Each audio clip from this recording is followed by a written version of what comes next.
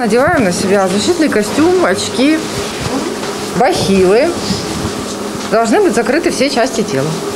А сколько у вас обычно занимает времени, вот вся, вот, надеть всю вот эту экипировку? Ну, где-то около, наверное, трех-пяти минут.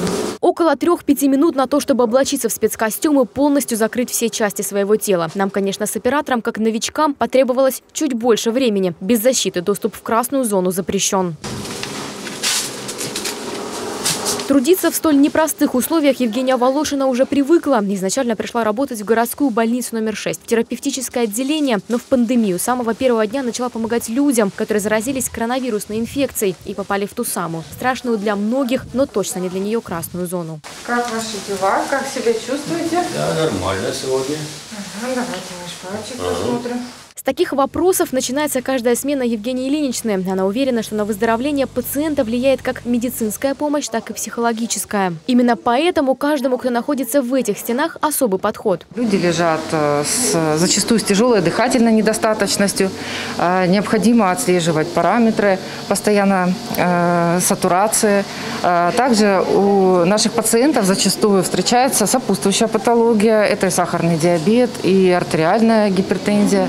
Важен для нас каждый пациент. Э, Стараемся помочь каждому человеку.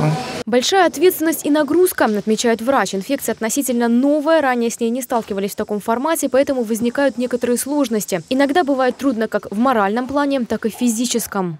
В таком костюме космонавта, так их называют пациенты, врачи в среднем находятся около пяти часов. Я нахожусь в этой экипировке около 10 минут, и мне уже сложно дышать и передвигаться. А вот медработники стараются не жаловаться. Говорят, это их долг – лечить людей, а иногда даже спасать. Большое вам спасибо, человеческое. После окончания смены Евгению Волошину дома ждет муж и трое детей. Три дочки. По ее словам, дети уже взрослые и ответственные, и выбор мамы поддерживают.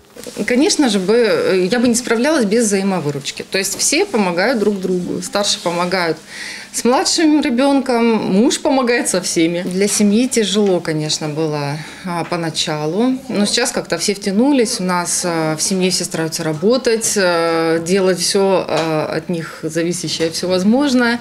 И ценим друг друга. Мы друг друга стараемся поддерживать во всем. Пока неизвестно, сколько придется трудиться в красной зоне, но наша героиня уверена, что путь, который она выбрала в юности, поможет спасти еще не одну жизнь, а семья и дети будут ее всегда поддерживать. Елена Сарксян, Алексей Покатила, Дон 24, Ростов-на-Дону.